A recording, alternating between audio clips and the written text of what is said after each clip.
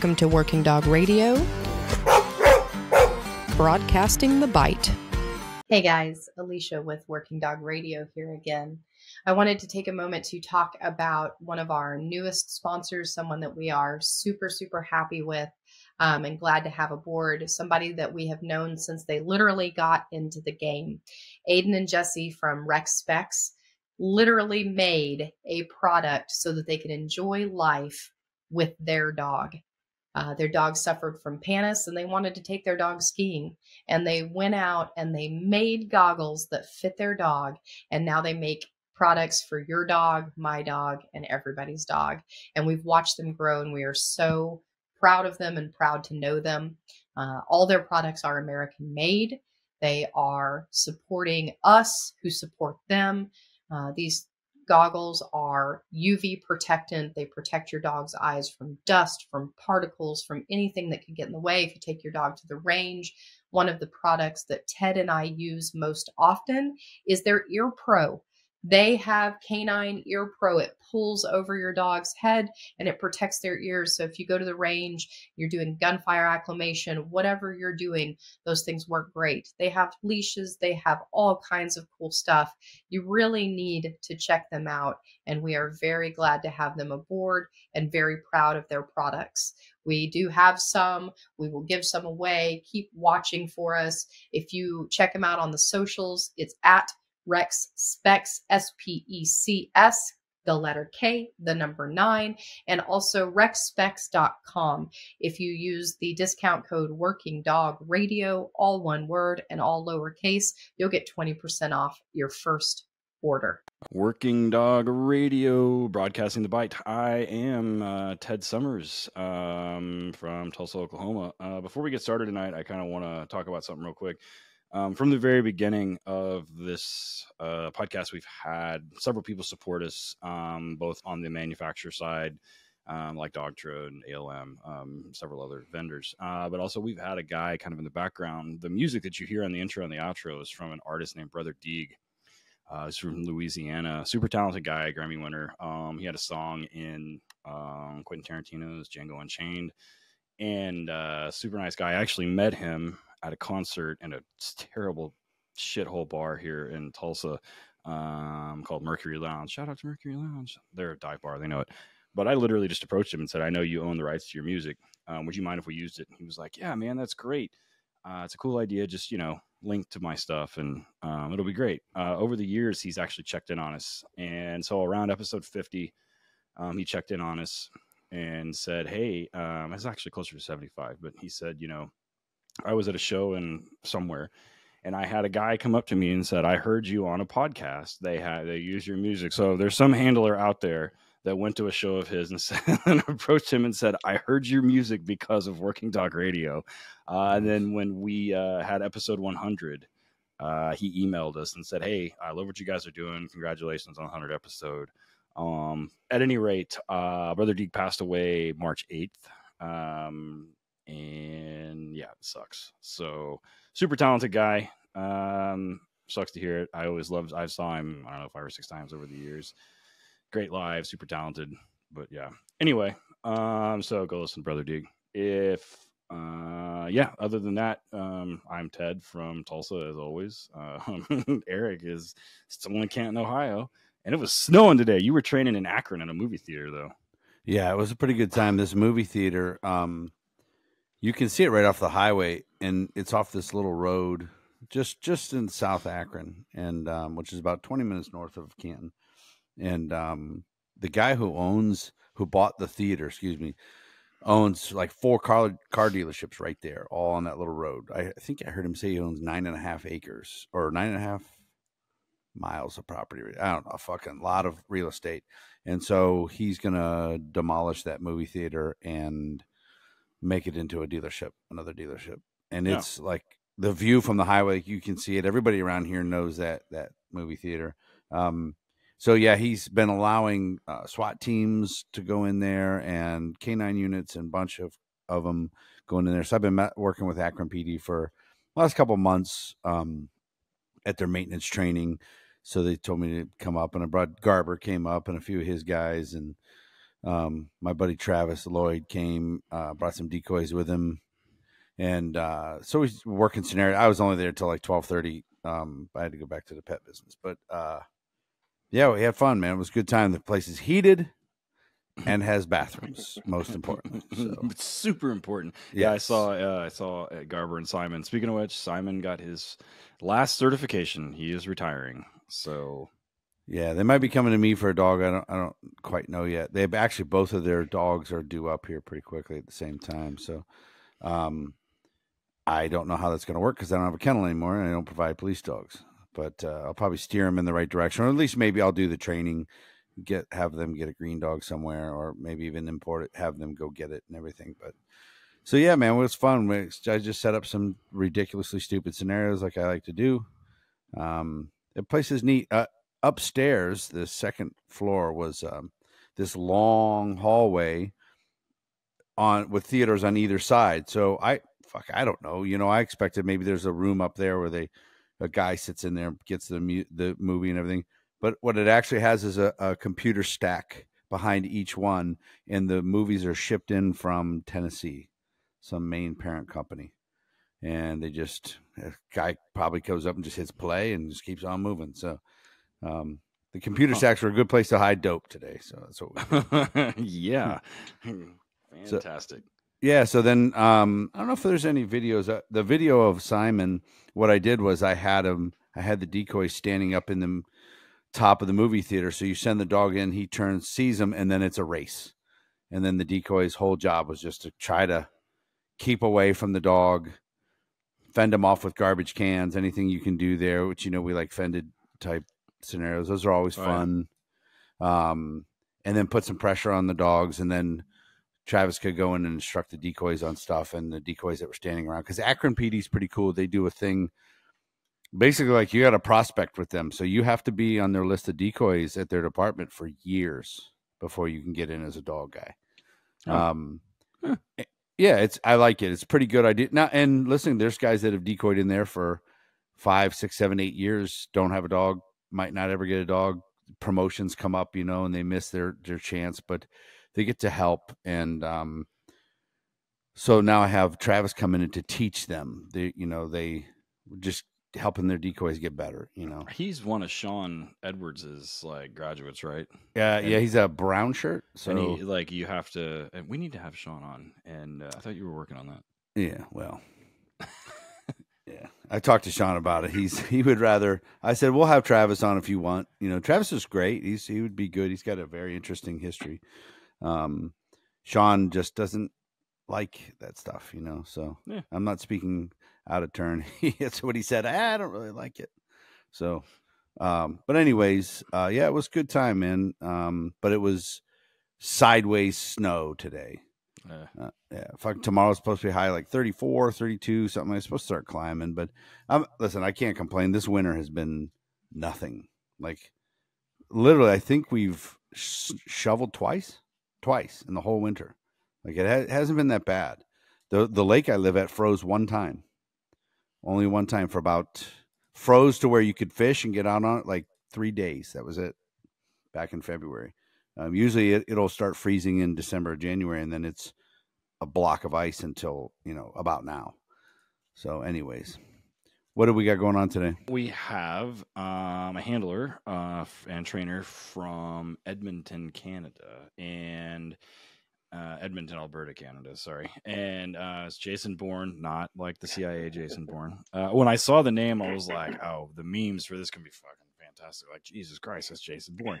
Um, so, uh, 12 years experience as a canine handler and canine trainer, um, certified patrol trainer from um, the Canine Law Enforcement uh, Accreditation Registry, and was a tracking judge for the Canadian Police Canine Association National Championships. Raised several puppies, which we're going to talk about because they have a cool program up there. Um, went on to be successful police dogs and um, a lot of the teams you that he's trained have gone to the Canadian Police Canine Association National Championships. Several of them winning Top Dog Award. Um, and you start. He started his own company, which we'll talk about too, on 2023. Um, they provide police canines, uh, Samaras across North America, private pet training um, in the Edmonton area. So tonight with us from Edmonton, which is still cold. Uh, Jason Born. Jason, how are you? I'm good, guys. How are you? Not too bad. Not too bad. Um, so give us a little bit of your background, like how you got into law enforcement, and then we can kind of go down the uh, where we got into dogs and all that kind of stuff. Okay. Well, uh, first off, thanks very much for having me on. I appreciate it. I uh, I do listen to you guys regularly, and you provide a lot of good content to the working dog world. So thanks for that. For me, for law enforcement, I, I joined a little bit later in life. It was kind of like an early midlife crisis. Uh, so I became a cop in 2003. I went through the academy, through the recruit class, and hit the streets in 2004. I was quite fortunate where one of my training officers was one of our puppy handlers for our canine unit, where where your job is to raise puppies for the unit. So kind of got a really a really quick intro to how police dogs work and and how they uh, their function and role in policing, and that kind of kind of got me hooked right from the start. Um, and we're similar where you mentioned earlier about uh, putting in all those hours. Uh, we have we call it a quarry program. So if you want to get in canine in our department, you have to quarry, and and uh, the expect expectation is at least once a month, kind of like hundred hours a year type thing, all on your own time. It's a volunteer situation. You're not getting paid for that. Um, so I started my quarrying back in 2004. Did that for four plus years, and then I was kind of lucky enough to go through the process and get picked to be uh, what we call a puppy holder. Uh, at that stage, there now you start raising puppies for the canine unit, um, and you'll do that. You can do that for one, two, three, four years. It kind of just depends on the openings and the vacancies in the unit. Uh, so I did that until 2010 when I, when I, was lucky enough to, to get my chance to go into the canine training class. Yeah, every time I've done a seminar up there and they always call decoys quarry, and I'm like, I have to like, I kind of shudder for a second. I'm like, what? I'm like, they're like, yeah, it's a decoy. I'm like, oh, okay. They're like, where's the quarry? And I'm like, the the quarry, because for me, quarry is like a hole in the ground where we dig rocks up. and I understand, like, and it's also like you know quail and shit. But I, am like, oh, we're uh, so it, it always makes me bar. Like last time I was up there with the HRD guys, and they it was like, who's quarrying? Who's quarrying? And I'm like, what is the fuck are you guys talking about? And so yeah, but uh, yeah, so it's good that you have to like it's they have a similar program like that. So talk a little bit about the um that puppy process. So that's a kind of it's definitely unique i think definitely in north america it's unique because nobody here does that. Lapd tried to do it. We had on a handler from um, uh, uh, hitting from south carolina and they do a version of it with their bloodhounds. Um, and eric i don't know that anyone else does it. I mean it'd have to be a large agency that does it but it's very much a thing in canada. Like rcmp does it you guys do it. Um, I think the Winnipeg guys, I think I talked to them and they do it. Um, I'm sure the guys in BC do it. Um, I'm, I'm because they have large agencies. I'm sure guys around Toronto do it as well. Uh, we haven't talked to any of them, but I'm sure they do. Um, so talk a little bit about that process um, because it, it, definitely. I wish people did it here so that I wouldn't have to deal with some of the shit that I deal with. yeah, and our and our pros like our program has changed over time. Like we used to be almost exclusively raising puppies and getting them into you know ready for the street and hit the streets, whereas now we're kind of only raising maybe one or two puppies at a time, and we're still buying green dogs. You just can't keep up to the vacancies, and we and we all know uh, raising a puppy is a ton of work. Like uh, the amount of hours you're going to put in is, uh, if you look at it from a business sense, it's not a good business sense, but um, you really have a chance of have an influence on the dog you're going to have on the street. So I went up to Van, uh, Vancouver and did a like a three day fun seminar with those guys up there. We had a blast they uh, also say quarry, but they refer to puppies like their green dog school as puppy school, like all the way up to untrained. Is that kind of you guys the same kind of verbiage like nationwide or? Yeah we'd be very similar. Yeah it's a it's kind of like a puppy until it hits that dog master class and then we call it a prospective police service dog at that point but yeah well it's getting raised up to 15 or 18 months it's it's yeah it's in our puppy program for sure also, shout out to the folks from Vancouver because they fucking drink. Yeah, we had them in an HRD seminar in Bend. Um, them boy, yeah, we had two of them in the Bend seminar, and yes, they do. It was like as soon as the last bite was done, okay, I was like, oh shit, it's fucking four o'clock. Let's go. Well, when they picked us up from the airport in Winnipeg, like hand after the whole shit show with the Border Patrol, um, the Canadian Border Patrol, uh, mm. They handed us each a bottle of Crown Royal. I was like, oh, okay. So it's it's that kind of was like, welcome to Canada, eh? I'm like, I, yeah, sure, bro. Yeah, but dude, we were drinking, we were drinking. They're talking shit. We were drinking um, Milwaukee's best I and know. Pabst Blue Ribbon. I- No shit. I was like, you're dude, all this is going to do is make me pee. Like, where's all the bats, bro? yeah, maybe it was a different different version of it. So real quick, so let's talk about that puppy. Like, um, you have a group of like breeders that you guys have a success with, or how's that work? Yeah, you know that's that is the hardest part of doing puppies, right? Is to find good breeding, good breeding, good good puppies. Uh, it's super competitive. If a breeder is putting out good puppies, we've been lucky. We've had some connections over in Europe over the years where we've gotten some really nice puppies uh, that were sent over from Europe. Um, kind of our model has changed now though, where if we can't test the whole litter, we're not really interested in the puppy. Like we want to see the whole litter, test the whole litter, and then we'll we'll make a selection from there. And we've we've tested many a litters and not picked a puppy at all. You, you got to have a standard. and You got to stick to your standards. I do. I like that. That's pretty good. So, so let's use a round number of eight. Every time you get a litter of eight, what's your percentages of success? Like Of dogs that make picking it. one, picking one. Oh, like of the ones we pick, we're probably Mhm. 500 to be to be totally fair and Yeah. frank. We're we're probably batting 500. If one we pick, one we raise to that 12 months and kind of do some testing, yeah, 500 is pretty accurate. Where does it fall off? Where do you find the problems? Most times the problems are going to be in the in the bite work, just not not maybe not serious enough, right? Not a good enough grip. Uh, environment wise, if you get that puppy at seven weeks of age, the puppy's going to be pretty strong in environment. Um, it's usually the bite work is what sinks us. That makes sense. So then, do you have an entire list of people waiting to take the failures? Well, it depends on the breeder. Some have contracts where they have to go back to the breeder. So oh, I see what you're saying. Yeah, it, it all depends on that as well. yeah. Because we talked to um, oh, who was it? Somebody that real big into puppy said, "Man, I have a whole entire network. Man, I've had because he's a breeder. Like he breeds but raises them up. Who? Um, Was that subtle? Yeah, yeah. So Yeah, okay. yeah, so he's got a network Yeah. of people like, and it's taken him a while to to build that, but um, yeah, I guess he doesn't. He's the breeder, so he doesn't have anybody to to respond to. Um, so you guys, they live at the kennel, or each one of you take one. Say, say you got two puppies. Uh, out Uh, so that was my role as a trainer, as a unit trainer. Um, once my my working dog retired, um, I was a full time trainer at that point, and that was my job. I, I have a kennel at home that's a split kennel, and I would try and have two puppies in there at all times, and if, obviously a few months apart, so you can kind of have them like going through at different stages. But as the tra- as a unit trainer, that's your job is to raise puppies. Yeah, I don't know. I don't know how, what, if I would dig that. Uh, if you know, it would probably it'd be interesting, I guess. You know, and it it like a proud papa moment though if the dog if you raise it and he ends up getting out there and doing You it. know, and one of the things, and I'm happy with my vendor that I use now, and Eric, you know him. Mhm. Um, you've used him before too, but um, and he doesn't do a ton of the raising of the puppies. I will say that the ones that he does raise that he has sent me have been great, like Aries and Torch, uh, and I think there was another one.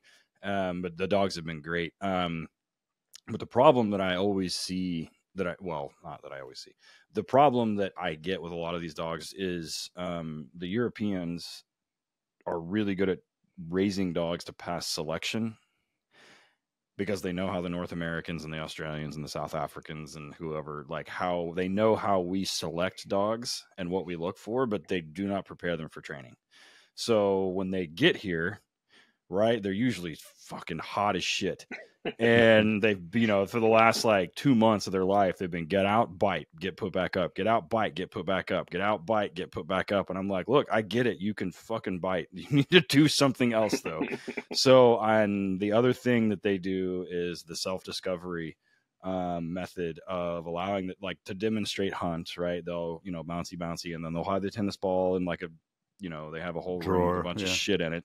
And they allow the dog to dig and self-discover and I'm like, "Stop fucking doing that, guys. Like, we've had cases that the Idaho case, which doesn't affect you, but for the Americans listening to us, like, we had the case in Idaho where the dog touched the car and they vacated a sentence because of it. And it's, I'm like, you know, and, and that's you know, gaining steam that and that is yeah. gaining steam. Yeah, where yeah, that case just happened. Eric texted me the other day about a case um, that where the another case was thrown out because the dog put his nose through the window and crossing the thresh- threshold of the window, the window being rolled down, his nose crossing the threshold constituted a search. So, um, you know, when they have a ton of experience and self discovery that way, unfucking that, it becomes kind of a challenge in the first three to four weeks of doing detection work, like not letting them touch odor, not letting them touch boxes, not letting them use their fucking paws. Like, so, and I know that that's a learned behavior. And I sit back and think, I'm like, fuck, if I could raise a dog, if I could raise all these dogs, they'd never do that because I wouldn't ever let them do it. But because, like, you know, and the testing process in the United States for vendors or for departments, not necessarily for vendors, is so ingrained that it'll take us generations to get out of it. Um, there like the te- and everyone that does testing you know this everyone that does testing thinks that they have the secret sauce like they have some kind of fucking hotline to god. And they're like i know that this dog is to be great because of my secret super secret test. And i'm like okay i'm sure you do but it's, it's all testing the same shit but they learn bad habits early on to pass testing right they want to see this insane fucking dog out of control and Yep. drive drive drive drive drive we had eric Yep. eric our third episode we had drive on we had subtle on he said he was like, "Fuck, this dog's had enough drive for three police dogs. How much more do you need? like he's got enough. Jesus Christ!" Like so, then capping and like it became it, it becomes like nothing would make me happier than having an entire class of police dogs that I didn't have to cap. Yeah, that'd be great. And it won't happen unless I raise them or somebody like us raises them. So, um, and that's not talking shit about the Europeans. They create great dogs, are super healthy and whatever else. But and they they test well. So- For fucking sure, they test well. And they will bite stuff and tear stuff up. Faux show. We've talked about uh, how the dog in industry or culture in uh, the working dog culture in Europe goes back so far, like it's generational, and that's why like the vendor that that Ted and I are using can travel around Europe to a farm and find Yeah. two dogs, you know, fucking great dogs. You know, a guy has some other job, but it's just in their culture. And in in the U.S., I mean, there's people who've tried. They've tried to, to. They're trying to be breeders. They're trying. We still end up going back there. What's the culture in Canada like with when it comes to that working dog puppy culture? You know what? Uh, I think raising puppies is kind of it's getting less and less in Canada. Obviously, the RCMP that's that's the foundation of their program. They're never getting out of that. But for any, any of the city departments, it's getting less. Like the fact that we still raise puppies, it's more the minority now, just because the amount of work that it is. But like we touched on earlier, if you get a super strong puppy and you raise it properly, you can't buy a dog like that. Like No. that is, it's going to be a top notch dog if it had the right genetics to begin with, right? And you put the right work into it. Um, you're not going to get a dog from Europe like that. That dog is just not likely for sale. No, they're not. No, no, right, not to no. us anyway. Not to department. I mean, Yeah, they're for exactly. sale to the Americans, but nobody can afford them. I mean, you're not Yeah. gonna. they- Yeah, there's not the dogs that are working. The Chinese with a giant pile of money on the other side of the field is who gets that dog. Yeah. um, Exactly. or the so what Taiwanese- is it- Yeah. What is what does it look like? Um, kind of a, a sped up version of raising that puppy, and what you guys, I'm sure, have a kind of a formula based. You got to mix it up for the dog a little bit, but what does that look like as the dog is aging through his uh, youth? So when again in a perfect world, like science they say, I guess, is 49 days, seven weeks age of age. That's the best time to test that puppy. Uh, once we select that puppy from that day on, uh, we're really working on environments a ton right to start with, uh, whether it's sounds, uh, stairs, floors, shiny things, you name it. Um, tons of environmental training those first several weeks, and we're going to start the bite work at that age too. Seven weeks of age, right? Flirt pull, starting to chase the flirt pull, building that drive, starting to build the grip, uh, building that want, uh, the want to bite. And we'll start building some hunt already at that age too, right? We're, and we're going to go super hard until teething starts. Um, that teething might start usually around four months of age. At that point, there we're going to really back off. Obviously, you can't do any bite work while they're teething, so we're going to back that right off. And then it's going to be strictly really working on the environment during the teething phase. And then around that six to seven months of age, when teething's done, now we're going back into the grip, building the hunt, building the grip, uh, and we're doing obedience all the way along the way. Um, but again, and building those environments. I don't know. Some of the lectures I've been to, a lot of people say week six to 16, most important weeks of a dog's life. Um, those are the important weeks for environment, for really exposing the dog to lots of different things. And if it doesn't, the belief is if it doesn't hurt the dog, uh, the dog's going to overcome that and be stronger in those environments for the rest of its life. So again, that's that's something you don't get when you buy adult dogs, right? You're buying. Uh, when I'm buying adult dogs, I was always trying to buy the least amount of problems, right? Hmm. So if uh, if you got a you know, pup, hopefully you can avoid that. I've said this multiple times. That's a good way to put it, by the way. Yeah, exactly. I'm you're buying the least amount of farms. Fuck. Yeah, I've said this multiple times, and you know there isn't a zero, there isn't a dog in this on this continent that's working that was washed for its inability to recognize target odor. They're washed one for their lack of willingness to look for it, and two they're washed because of weird environmental problems. I've seen dogs that were fucking monsters, but anytime anything weird happened, and you can usually see it. So, a secret that, and I, people have heard me say this before. If you haven't, I'll tell you now again. For you're listening to this and you're testing green dogs, if you have a dog that gets funky on bite work, just basic back tie shit with like an inside bite, or a, he gets really weird with decoy pressure, 100% he will have an environmental problem and vice versa if you see a dog that has a funky environmental problem is shit that he shouldn't like just nothing weird like just like slick fours or yeah, like vacuums floors, or something yeah. Anything funky he will have a problem with decoy pressure those two are interlinked and eh, you know there i'm sure there's some scientific explanation that's not me though but i just know that those two things like if i'm testing and i'm looking at in a dog environmentally or watching a dog work on a new decoy in a new environment and he shows me some kind of hesitation, he will 1000% have. And it's just a matter of finding it. So if you're testing, like look at that. Like if he acts all funky on weird bites and he acts all funky, he acts funky with decoy pressure or vice versa. If you're doing environmental testing first, um, and he acts weird about something that should be inconsequential, he will 100, even if he bites, he will 100% have a problem. And I, and you know, then it comes down to is it nature nurture, right? So a lot of those dogs, then do we test recovery, right? So you show it to them once and they never have a problem with it again. Okay, fine. The dog doesn't have a Rolodex. Like you have to show, then it becomes an issue of creating a list and fucking showing them literally everything, which is Eric's deal, right? Like train above your head so that you don't, so that you're like when you deploy, it's all, so it's always the most random, stupid shit that is you'll never actually see so that the dog sees everything and if then you can really tell if it's if it's genetic if it's a genetic issue and you show it to them over and over again and they fail routinely it'll always be a problem you can never train around you'll you'll never be able to train around it you just won't and that dog should not be doing work that exposes him to that whatever yeah. that is so yeah now do you guys uh, through this puppy stuff find that these now these dogs are working all the time, right? They're getting reps, reps, building confidence. But do these dogs still kind of go through any kind of fear periods? These puppies, or do we kind of work right past through that? You know, like uh, I'm sure you guys have experienced. Sometimes when you get that that seven, eight months of age up to around 11, 12 months of age, they can go through a bit of a weird phase where they've been super confident. They they've shown really good uh, character traits their whole time, and sometimes in those adolescent kind of ages, they will show some weird things and they outgrow it so to speak. But yeah, that's that. Like for the most part, that's when we see it. If you if you test that puppy at seven weeks of age and he's super solid environments, he's not going to develop a problem later on. Not from my experience. Yeah. Now, when you do see kind of that wonky, how do you nurture that? So I'm a big fan of food training, right? So a lot of our environmental training is all food, right? So the dog, again, uh, some cheesy sayings, but nothing in life is free. So all the work dogs we have and all the puppies we raise, they got to work for their meals. So whether it's on a staircase or aggravate, uh, you know, metal flooring, shiny flooring, whatever it is. Uh, they got to earn all their meals and they got to eat those in those environments. So that's I'm a big fan of the food for training. Yeah, we, have I've talked about food and a lot. We've talked about how, you know, you said it in um, the last episode. Just because you use food doesn't mean you like. you will not suddenly like penis if you. There you go. That's a, that. That's yeah. that's the one we need to put on a shirt. Yes. It's still yes. It's still. I still hear it, dude. I still hear it.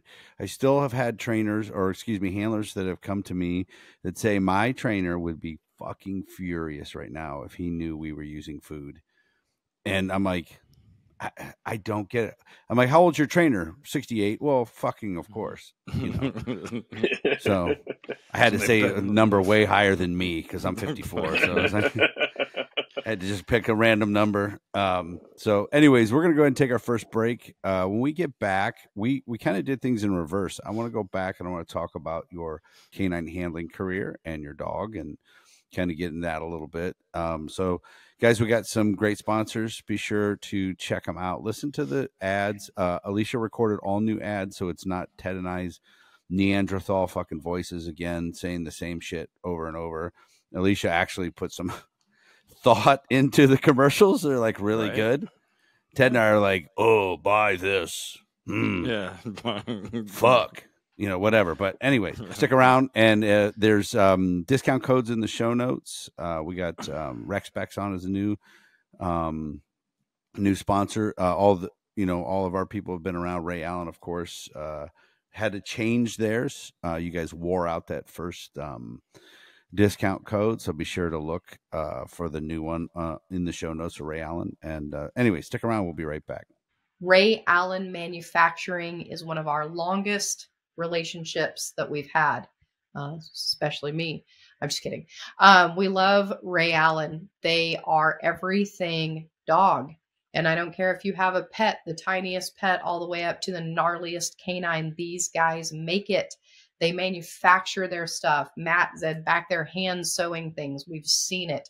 They invent products. They collaborate with other trainers who think that they might have a product that the world needs to see, and they'll make it.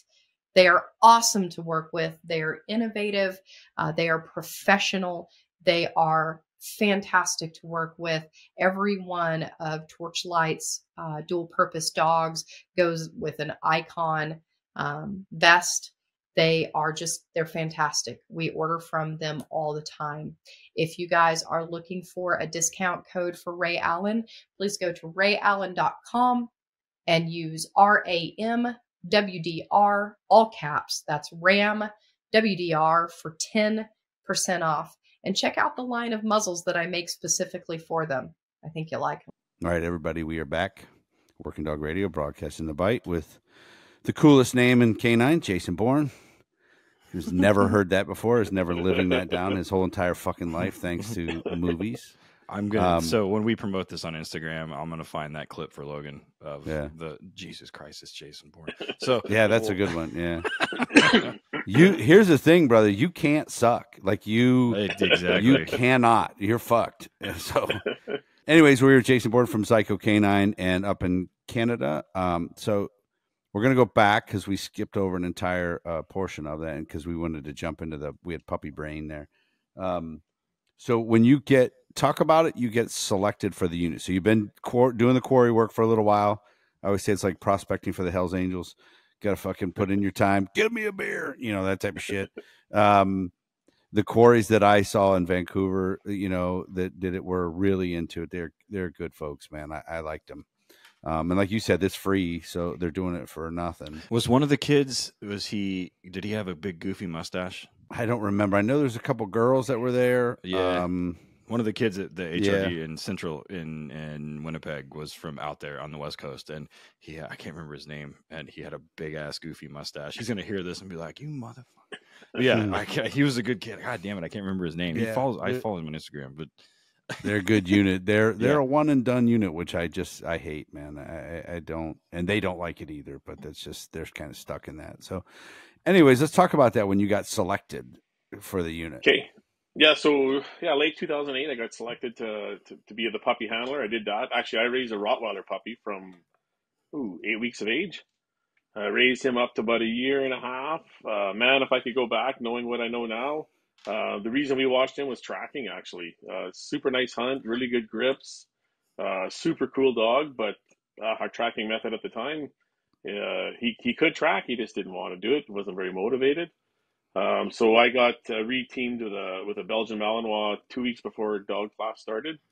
Typically, in up here in Canada, our dog classes usually run beginning of April till September. We want to avoid the winter months, obviously, but by luck would have it, when my opening came up, we started training in September. So not a normal time of year for us to start training. So we trained all winter long, uh, 40 below, three feet of snow, you name it. So not ideal, but we, we got through it.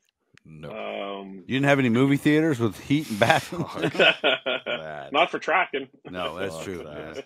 so yeah, I, I hit the street with him kind of the start of uh, 2011, and I worked him full time till 2014 when just with luck would have it, we were uh, we needed a trainer for our unit, and I kind of got that opportunity a little earlier than I had hoped because we're the same thing. We're a one one dog and done uh, type situation up here. Uh, so a little early to start training, but I started that in 2014, and I did it kind of part time for my first three years, where I would run the training class every summer. In the winter months, I would work my own dog, so I kind of had a bit of a balance. And then 2017, I retired him, and then I went into a full time training job where I I uh, would raise puppies full time, and I would run the training classes all summer long. So I did that until uh, geez, the end of 2022. I got promoted out of the unit, and I'm uh, I'm actually a patrol. I run a run a patrol squad right now. And then once I left Canine, I started my own company, or Xieko Canine. After yeah. that. So if you had to go back, let's go back to that Rottweiler. Would you could you have done a tracking differently for his success? Yeah, so I'm lucky. We like here we're lucky we get to bring in a lot of good trainers. Um, in 2018, we brought in Dick Stahl, had him here for four days of his tracking class, Ooh. and um, man, obviously I changed our tracking method. Very, we're not Dick Stahl 100%, but we're very close to what he does. A few things different, of course, to fit your own unit, but. Uh, if I could have that Rottweiler back, knowing what I know now with uh, with Dick's method, I'm pretty certain I could have made him a good tracking dog. We've had Dick on, and I use a at a like a, a version of what he does, and I mix it with hydration tracking, hard surface, and it produces, along with some e-collar stuff, and it produces some dogs that win hide and go seek faux show for sure. And you can train anything to track as long as it likes food with Dick's method. So uh, and yeah, I I can I know exactly what you're talking about. Um, for those listening, um, we had Dick on. You can go back and look, um, and he does an entire um, like online video series that you can watch. That's done really well, and I, I don't think it's expensive. It was like ten bucks a month or something, um, or ten euros or whatever word the domination they're using now, but um, that you can go look at it. It's it, but Dick's a good dude and super, obviously super fucking talented trainer, and that method definitely. I when you said that, I was like, I wonder if he went and you answered the question. Like, I wonder if he does the whole Dick Stahl thing, and then you're like, yeah, okay. So that makes sense. Yeah, he's yeah. He, I, I completely understand where you're coming from. So we've talked about uh, people that are in this business understand that uh, Canadians are real big on tracking. I mean, we are too, I guess. But yeah, it's fucking big, man. That's what all everybody talks about is Canada and their tracking. So, and we'll we'll get into your Malinois here in a minute. But when you are um, teaching tracking, there seems to be two two schools of thought on hard surface is you either teach to track on the hard surface. Uh, I see t- a lot of videos of Ted's, especially since you started the hydration tracking, doing a lot of that, or you do more odor pooling, which is kind of what I did. And we had very good success with it in the urban environment that we were in. You know, it's a it's a city, but there people have backyards, and there's fucking there are places that we teach tracking through grass, and and I taught more odor pooling than than um, than tracking specifically on hard surface. Where do you guys fall in that? No, we're definitely more on the tracking side of things. Um, and I've, I've tried everything, or not probably not everything, but most things. I've tried the water hydration. Does it work? 100% it does. It worked well for us. The only thing I didn't like about it is one more lure I had to get rid of at some point, right? So it's going to take me more time to phase that out. Uh, before Dick's method, I did that. I did uh, the hard surface. I actually talk about the puppies. I did an experiment. Uh, we, we took three puppies one time in the winter months here, not good to train. So we went to heated parkades, the, the parking garages, and I trained dogs uh, on the hydration all winter long uh, in these heated garages on the with the uh, hydration tracks. And then come spring, grass grass is there. Went for a test, took them out, and took them to the grass, and they hooked the track like nothing. So mm-hmm. that method definitely does work too. But after having Dick here and adopting, you know, his method, I got away from the from the hydration just because with the with the washer method and, and getting that focus and that intensity to put your nose down, I don't feel we need to use the hydration anymore. Yeah, I, I've played around with it. Um, you know, and again, I, I teach uh, tracking. I, I start in grass, um, and we've had great success at it. So I just keep doing that. You know, um, I have messed with the the uh, the hydration, but I just walked, you know, got away from it and just again for hard surface, I taught more, you know, odor pooling with wind and the way it, you know picks up because I still believe in tracking. I, I think trailing is, uh, I don't think it's very successful myself. I do tracking, teach the dog tracking, and then I teach area searches separately. And I believe the dog then puts the two together, and you get there how you get there. Um, uh, I talk to a lot of search and rescue people, for example, that do a lot of. They're big on trailing, trail, trail, trail. I just don't think it's that successful. Um, tracking wise, we have numbers like piles and piles and piles of numbers. One of the dogs in my department had 175 street bites, and 100 of those were from tracking. Tracking, not trailing. Tracking. No, there's no SAR people that have 100 fines. Well, granted, they're not getting called out uh, like we are, but I just think if they if they would go back and start doing more tracking, they would have a lot more success than just the trailing. But the, you know, the other thing about the Dick method, that the Dick Stahl method, that I think um, thank helps, you for clarifying. Yeah, well, it's like I'm dragging my dick along. Yeah, the Dick Stahl method is uh, the evidence recovery, which is super valuable. Um, it's kind of an underrated skill, I think, and integrating it into the tracking side ends up creating dogs that like like Jason just said, are super intense and looking for something, and they're constantly looking for something. And the ability to find that stuff, um, my guys are super successful at it and have helped c- recover evidence that has helped with convictions, that has helped with charges, that has helped with all these other things.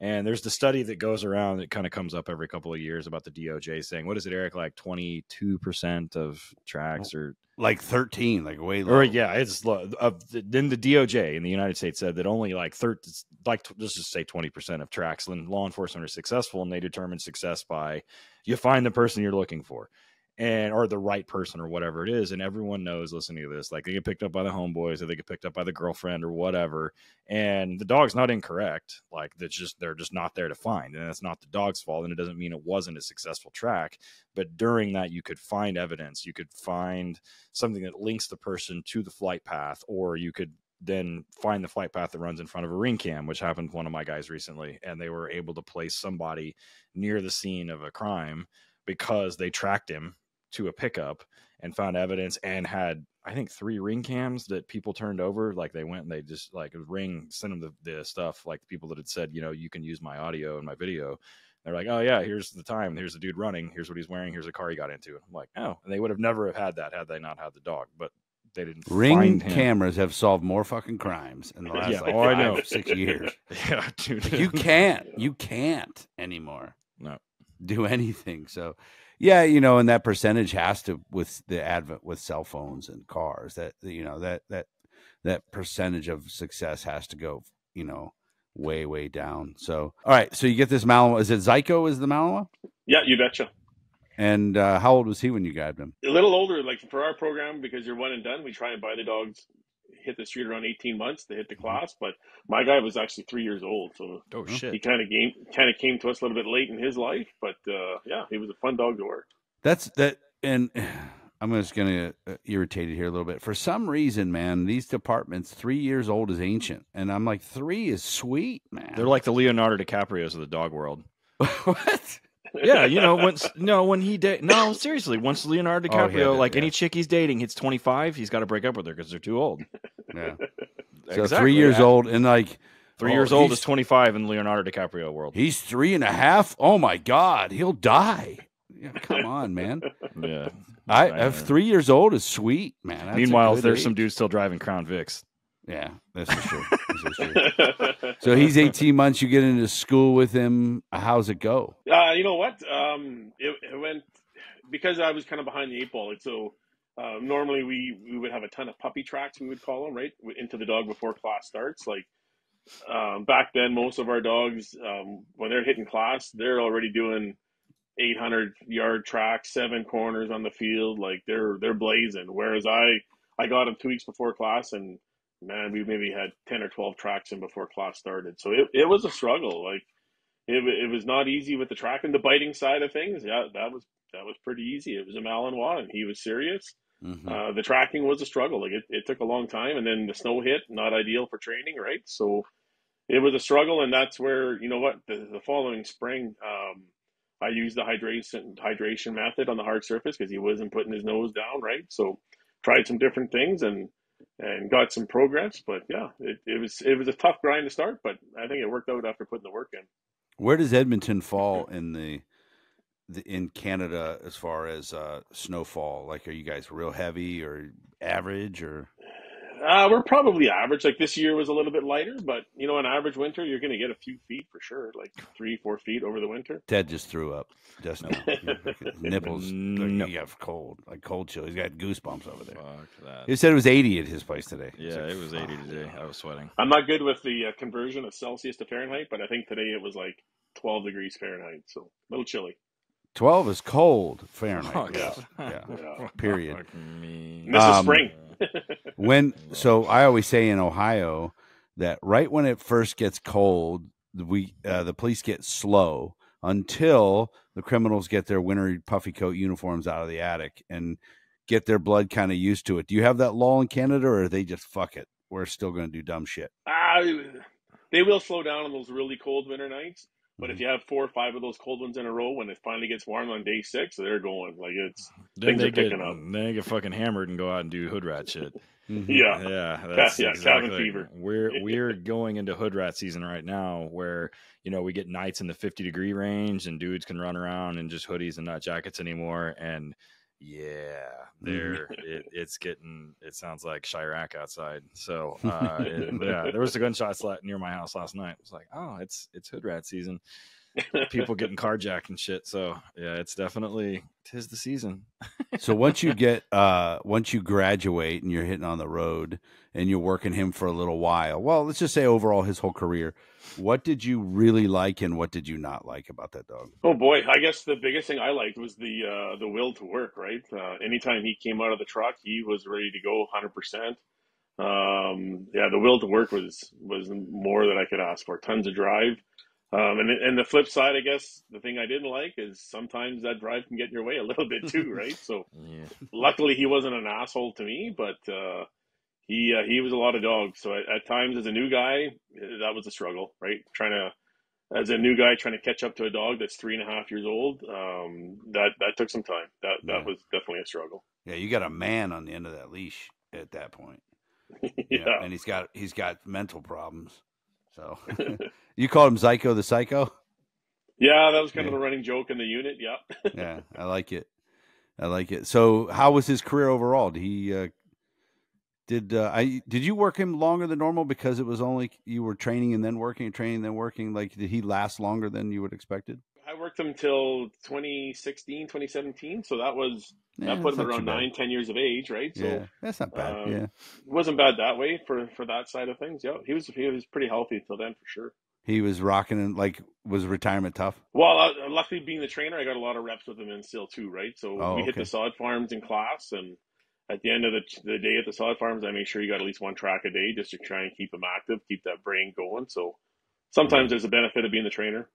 talk to the americans about tracking in sod farms That is the bread and butter. It's funny you mentioned that. So I do put on tracking seminars, right? And my seminars are they're Dick Stahl's method. That's what I teach. Um, and I've done a few in the states here now. And the first thing I do when I get there, I ask them where the sod farms are, and uh, and nobody knows. So uh, for me, that's the bread and butter. That's where you got to start. Uh, not only for the dog, but also for the handler. That's when you teach fundamentals. If you think you can teach fundamentals in an urban setting to a brand new handler, man, that's asking a lot, right? Yeah. So we like to perfect it all on the on the sod farms. Our we're lucky up here. Our training class is twenty weeks long, right? We get lots of time. Uh, but those first those first seven eight weeks, uh, every morning we're at the sod farms for four or five hours a day, just getting the fundamentals, building the dog and the handler. Yeah. When I first took over, well, I was a handler, and then when I took over as trainer, our classes were 14 weeks long. And so you got, you know, another six weeks. By the time we graduated, I was so effing sick of those dudes, and they were completely sick of me. Like, I know it. Like, I can't listen to their voice, and they can't listen to my voice any longer. You kind of feel like that? Uh, like the best day is the last day? Yeah, it's it's a grind, right? Like I always tell the guys in day one of dog class, like we all know when you go through academy or what do you what do you guys call it, academy, a police academy? That's a grind. That's hard, right? But I always tell the guys in day one of dog class, this is gonna be the hardest thing you've ever done in your life, right? Twenty weeks in a van, dogs working working your tail off. There's nothing harder. Ted, were you ever? Did you guys ever, when you started Green Dog Green Handler, was it always pre-trained then bring the handler in? Uh, it was always bring. I've done a couple that were um green dog, green handler, and they're fucking miserable. Um, but I much prefer the pre-training.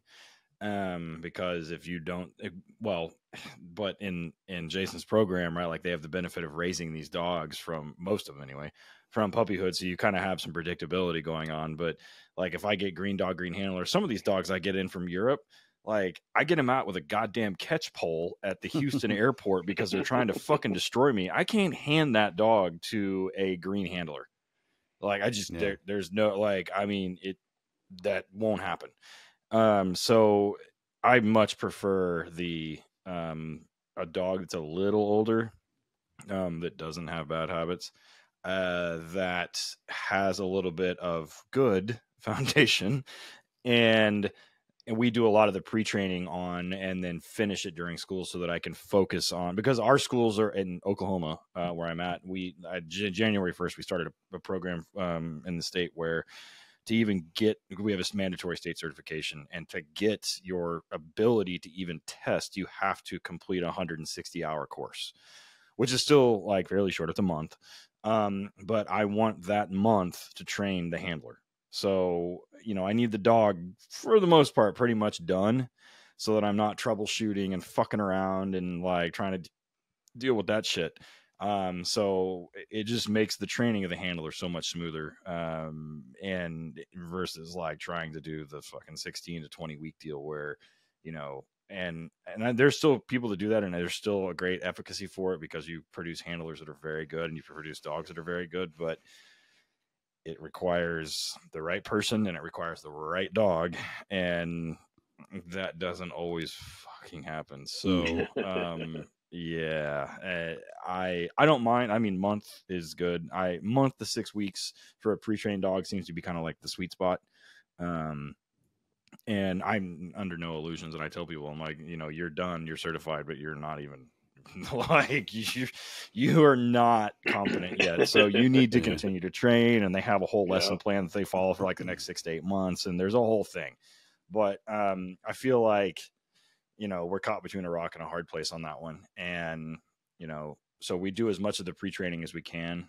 And uh, or well we pretty much finish the dogs. Like they're already rocking tracks. They're doing they have the obedience is good. Uh, i make the handlers do obedience during school uh, with food, right? And nobody, yeah. nobody, I haven't had anyone decide that they're going to switch teams and become gay or straight, I guess, whatever. um, because I've had them trained with food during school. Hasn't happened yet. When it does happen, I'll let everybody know. Um, so, and they're expected to do the the obedience training um, during class. Um, so the dogs are kind of loose on obedience, but by the end, they're usually pretty good. But um, yeah, the the 16 week program, the green dog green handler thing especially if you have a dog that's a fucking man eater, is rough because yeah. Handlers get bit, instructors get bit. Like I've got scars from those, like mental and physical. So,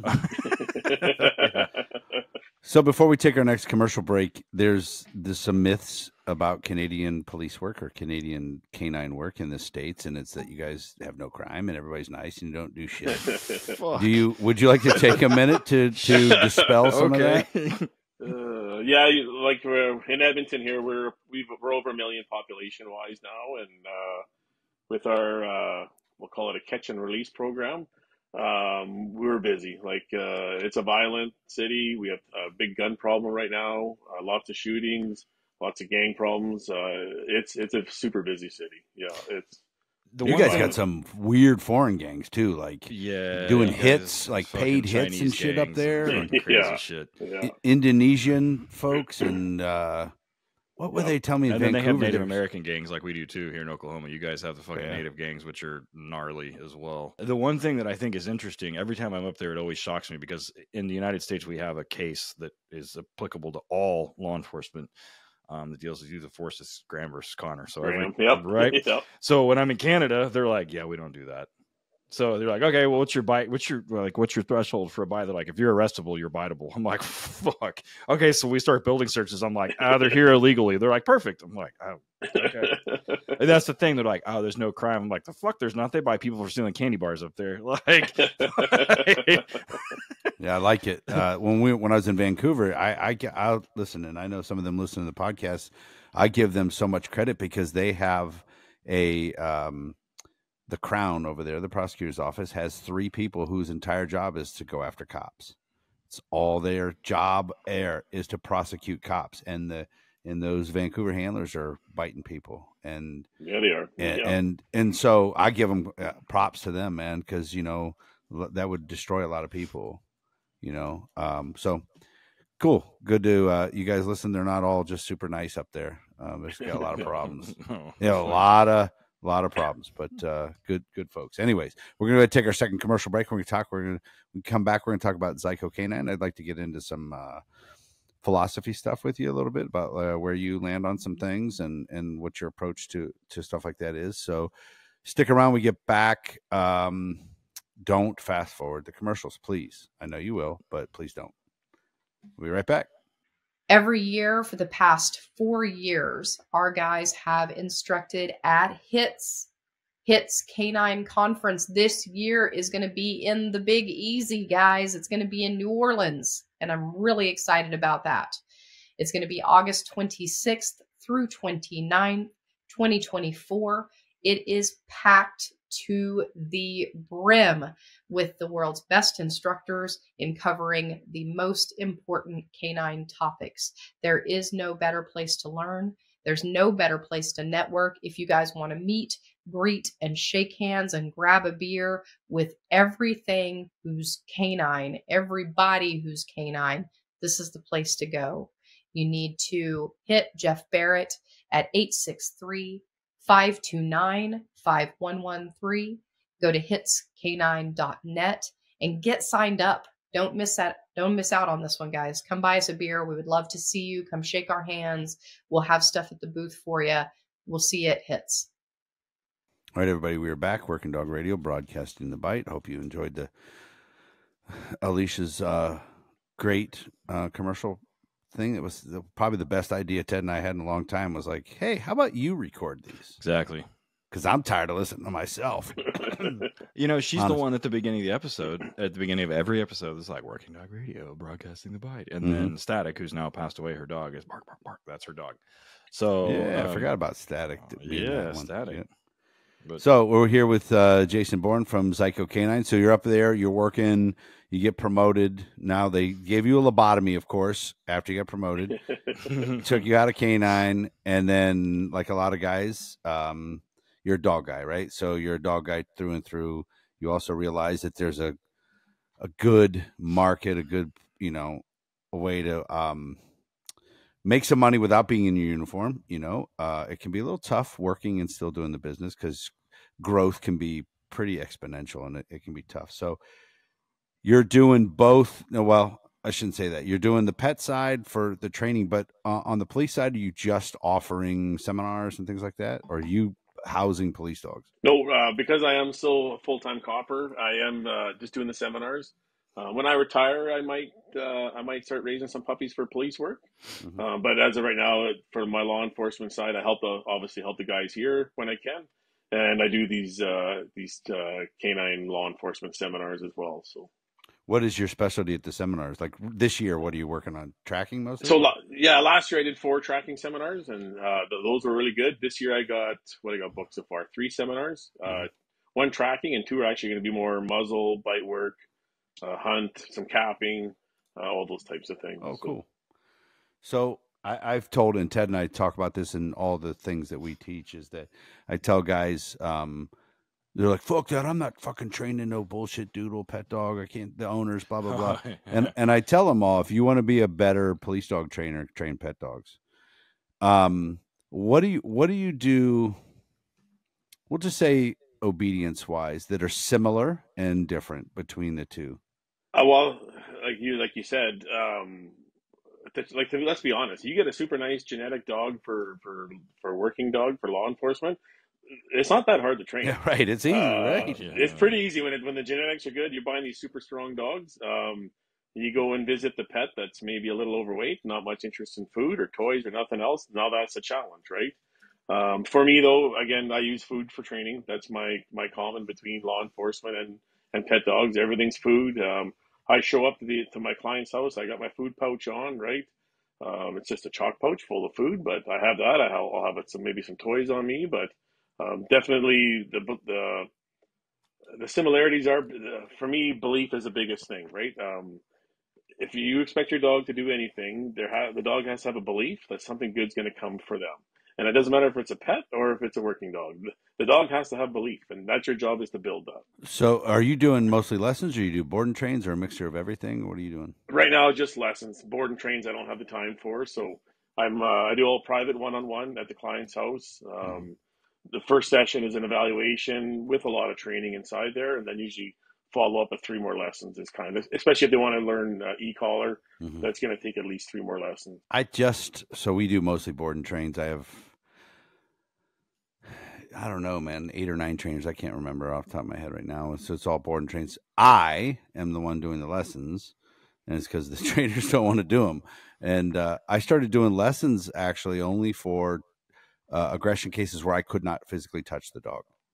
They owners put the collars on and everything like that and do all that stuff. And then if it if we work through it a little bit maybe we switch them over to a board and train. One of the things that and i so talk about your philosophy. You have it on your website um, but talk about kind of your philosophy when it comes to the pet side. We'll do the pet side first. Yeah when it comes to the pet side like i i use operant conditioning right? I'm a big believer in that. Um, i teach everything through positive right? Uh, generally speaking when, when i'm teaching behaviors it's all through positive. Uh, once those behaviors are known, though, I got to use all four quadrants and I got to get reliability, right? Um, I, there's this, there's a big push out there of if you're positive only or balance, all these different labels that are being put out there. But I do, I use consequences, right? Mm-hmm. if a dog knows a behavior and they don't do it, there's got to be a consequence at some point. And some behaviors you're not going to stop without consequence, right? Uh, a behavior that's reinforced is going to be repeated and a behavior that's going to have a consequence, it's going to be diminished. Like that's such a push simple.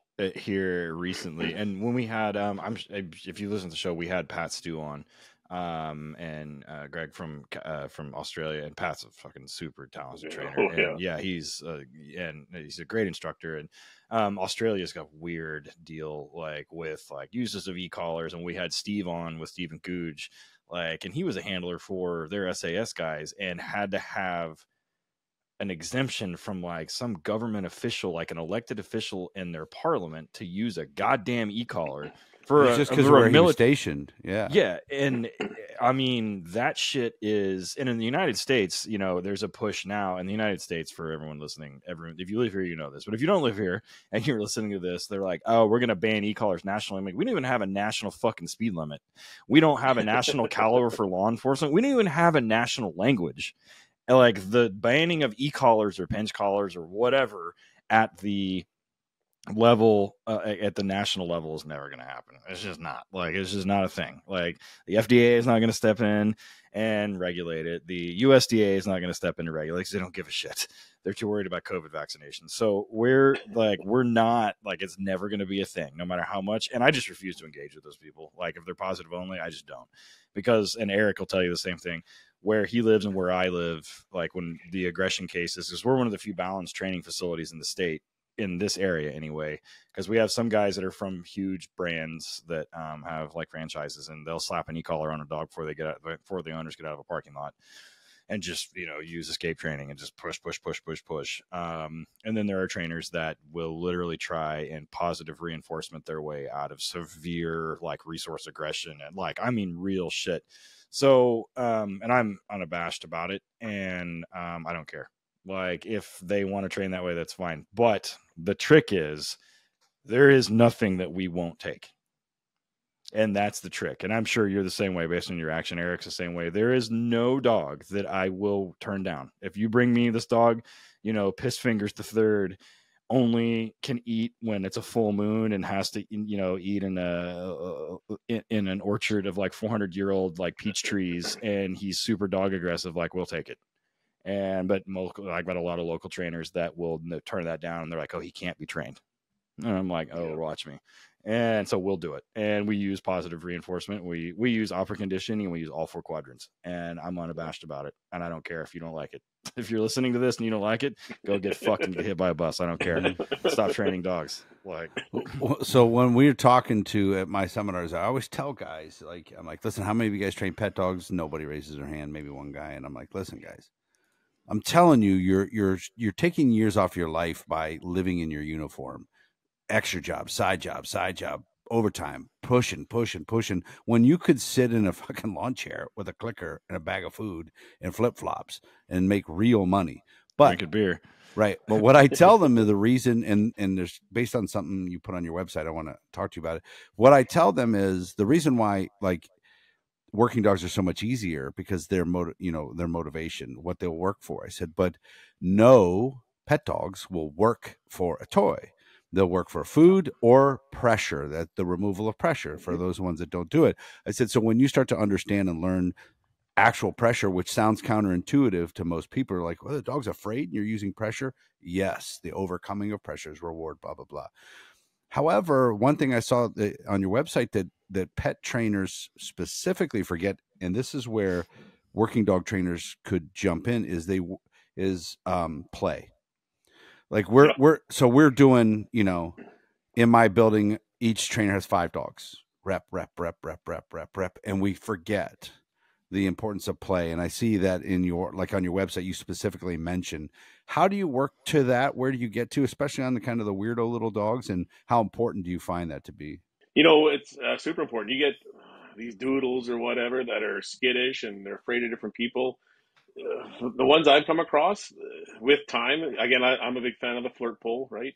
Uh, whatever toy that they like the most, I put it on the end of that flirt pole and just start playing in the yard. Uh, it takes time, right? Nothing's nothing's fixed overnight. There ain't a one hour fix, but through play, I've I've definitely brought a lot of a lot of confidence out of out of a lot of dogs, right? And all that play, all that play builds engagement, and it, it, all it does is strengthen your relationship with your dog, whether it's a work dog or a pet, right? Um, you're you're enhancing your relationship with your dog, and you, you're going to get way more out of your dog with that relationship. Yeah, it's funny you mentioned I had to go find my flirt pole. Um, we got a greyhound puppy in yesterday, and my train, my one trainer goes, I just thought greyhounds were always ten years old. I've never seen a greyhound. Puppy. they're just delivered at ten years old. Like they're they're like, you know but, what? I've never seen a greyhound puppy. And so my wife has rescued four or five racing greyhounds over the years, and, and in this country, it's not a thing anymore because um, Florida and West Virginia banned dog racing. But you can still get them out of Ireland, I guess, out of Europe. There's there's some racing going on up there, but um I we've we've had a bunch of them. We have one right now. He's 13 years old. I've never seen one. I've never seen a greyhound puppy. That's a good um, point.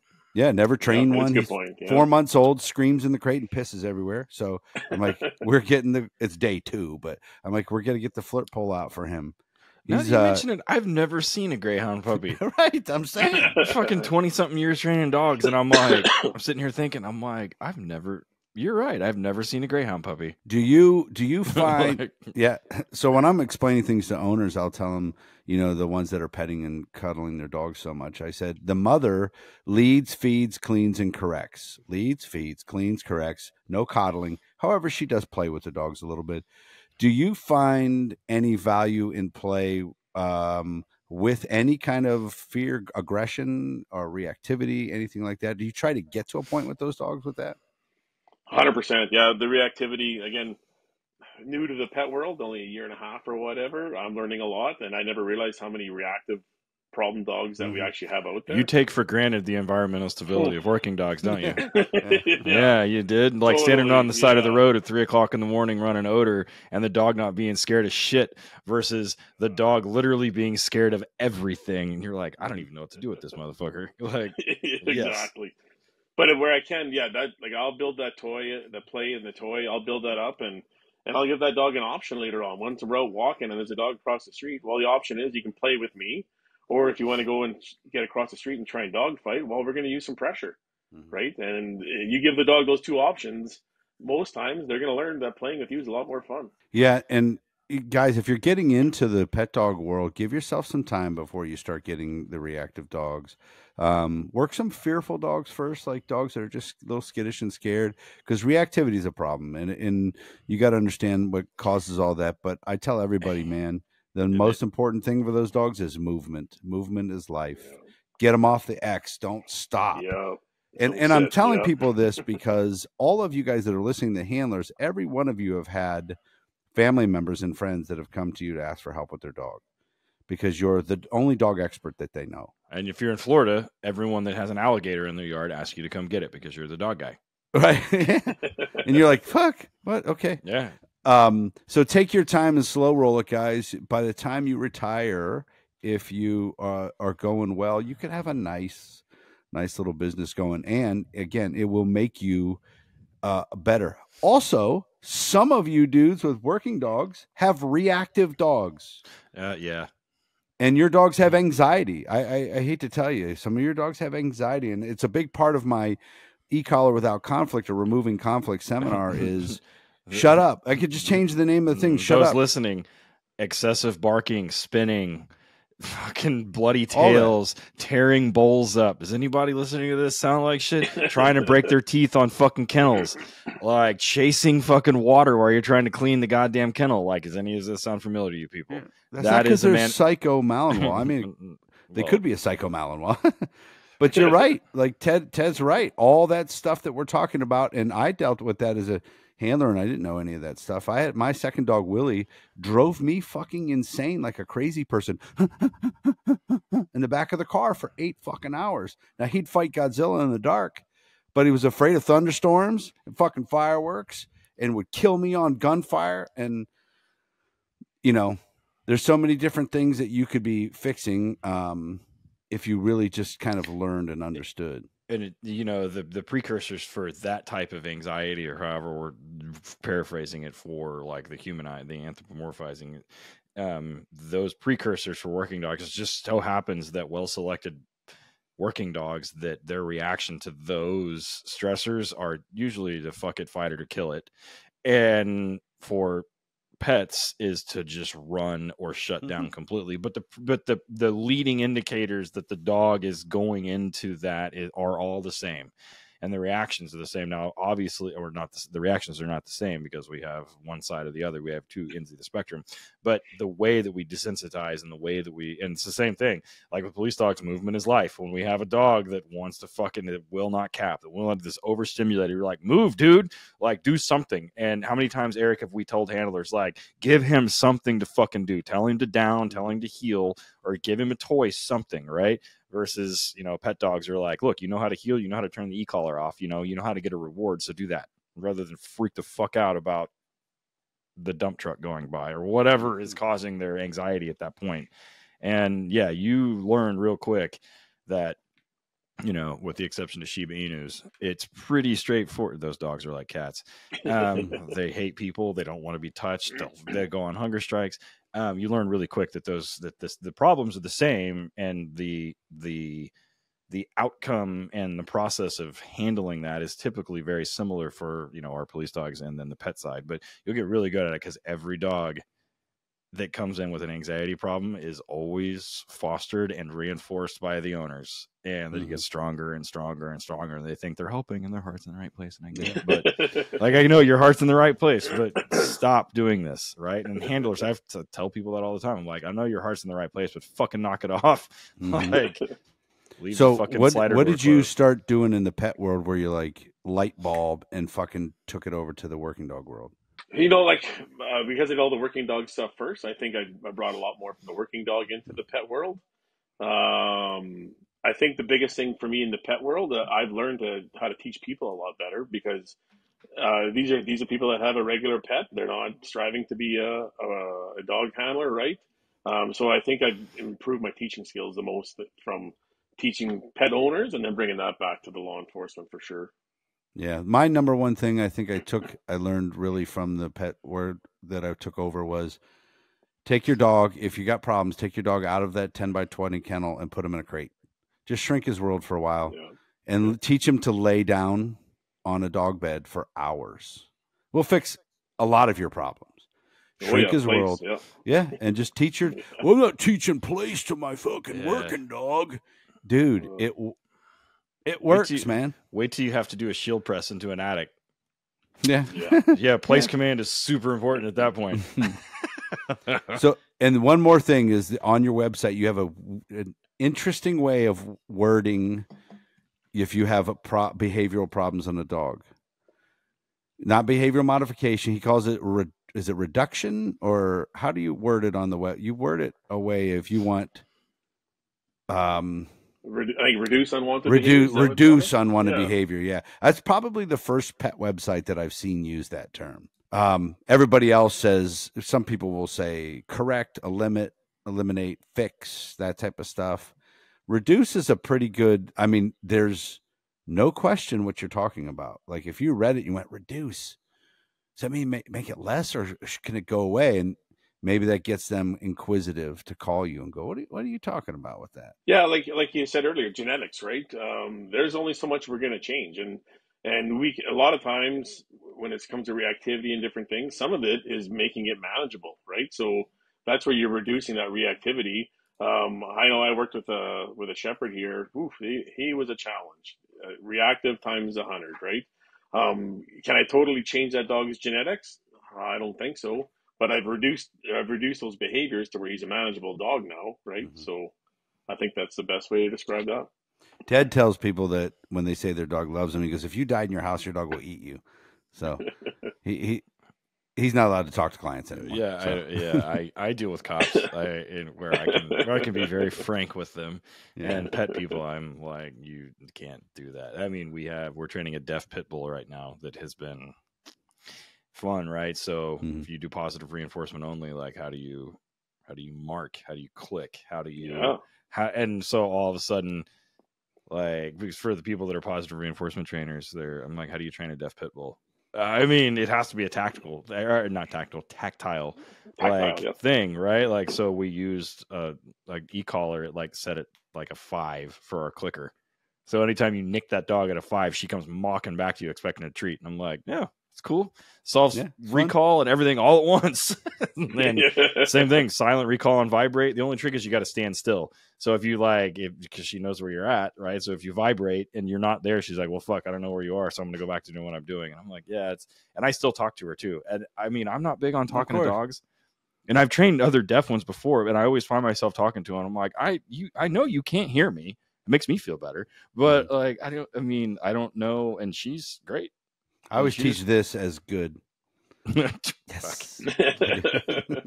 Perfect. Oh right. God. So, um, if somebody wanted to uh, bring you down for a tracking seminar to the states, what? Uh, how do they get a hold of you? But more importantly, what do they kind of need for you to get there? Like space. What What do you need? Because, and I I ask because like I have people ask me about training. Can you do a tracking seminar? I'm like, listen, I can teach a tracking seminar, but logistically, I've never done one, so I I don't know. So I refer them to other people that have done it. Yeah, like uh, my seminars are three days. Um, that first day, we're we're a blend of classroom and we're doing practical reps, and it's a Dick Stahl method. We're we're starting off with a food bowl for that first session, right? And we're moving away to a you know a soup can lid and working our way down washer wise. Um, the first few sessions, we're going to start inside in our little Skinner box, right? Small room, no distractions. Um, from there, we're going to work ourselves out to a parking lot. Um, hopefully, by the second day, we're gonna we're gonna have that down to you know a single nail or a, a super small washer uh, in the parking lot, and from there we're gonna go to grass. Uh, the third day, I definitely like to have a sod field, something similar to that, because by that third day now we're we'll be doing straight line tracks and and having multiple washes on the track and showing that reinforcement and and again in the seminars I have I do have enough videos, and, and when I leave the seminar, everybody gets a manual, and it, it shows you from week one to week 20 what you need to do. So um, the seminars that I have done, right, it's awesome to get updates two, three, four months down the road, and they're they're cruising along in their student manual, and they're sending you videos of the progress of where they've made, and and they're making five, six, seven, eight corners on these on these field tracks, and now they're tracking in the city. So yeah, that's that's that's how I do that. And you've been able to, uh, and I'm I'm pretty sure Ted, you've used it too, to use that Dick Stahl type method to correct issues, problems that people have been created over the time. Yeah, yeah. My biggest thing with correcting issues is the initial and so like everything else is the initial imprinting phase of like what we're teaching the dog to phys- to actually do like what are we actually teaching them to do and you know at, at that point um are we actually teaching them to find human odor? Like what the, in you know we're making a nominal odor important. And that i think gets lost a lot of times and then there's a lot of mistakes that i see happen in like old methods of tracking or like i mean it's not old just not modern. I don't know how you want to say it. But that focus a lot on I don't know. I call it witchcraft because it's like a focus on a bunch of shit. And when people describe it to me, I'm like, okay, so when we're talking about this, like, what the fuck do I like? What am I looking at? Like, how can I tell that the dog is at this point in this program based on change of behavior and body language or whatever else and i get some fucking weird ass answer and i'm like and i just kind of think to myself i'm like if you can't explain this in like one sentence you don't fucking understand it. And yeah. so the Dick Stahl method is like the you know the article method is like a very it i mean and it makes sense because it's what we do with narcotics and explosives. I mean you know you have a source emitting odor. It's just you're changing the venue and you're changing the odor. I mean it's not fucking rocket science. And you know and that's why it's always interesting to me when i do when i've done tracking seminars and i'm like dudes are like oh he doesn't like to track. I'm like but he does building searches really well right? They're like yeah. Like you know it's the same odor.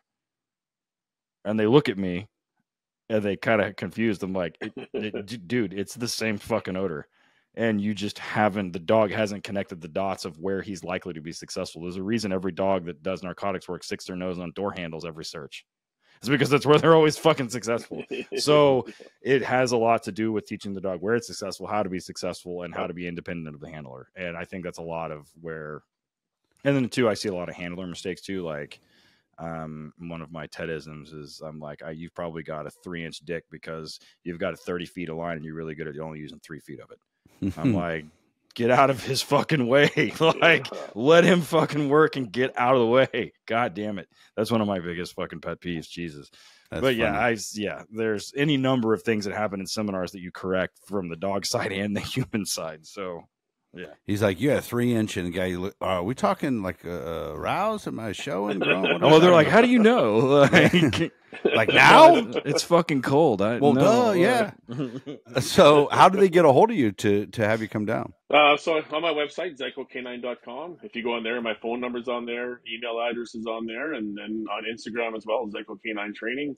Uh, you can follow me on there and send me a message on there as well. And it's spelled out X E I K O canine spelled out like the word dot com. So we'll put it in the show notes also. Uh, Logan and those guys will put it in the show notes.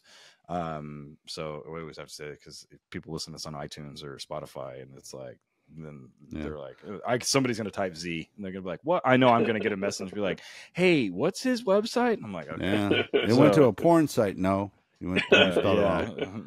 you tried to do a few a year of the tracking, or as many? I as... do like yeah, once I retire, obviously I want to do a lot more. But while I'm still working full mm-hmm. time, mm-hmm. I'm I'm trying to do four or five a year whenever I can fit them in around you know vacation and days off and stuff mm-hmm. like that. So, and it's always awesome to work with new groups and new people. And hey, it's when I go down there, it's a chance for me to learn too, right? So yeah, it's, uh, it's sharing, that's for sure. Well, uh, it was awesome having you on, Ted. What about you? Like, uh, where are you at? Uh, Ted underscore Summers. Um, on Instagram, and then Torchlight Canine, letter K number nine, uh, for the police dog side. Torchlight Pets, if you want to watch us train deaf pit bulls, and um, we got a tiny Aussie right now that bites people.